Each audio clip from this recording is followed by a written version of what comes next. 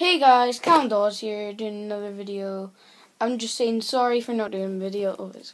Uh, I'm not doing videos. Um, yeah, that's all I had to say. Bye.